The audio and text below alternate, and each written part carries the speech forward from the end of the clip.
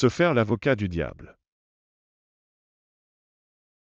L'expression « se faire l'avocat du diable » signifie prendre parti pour une cause ou une personne impopulaire ou controversée.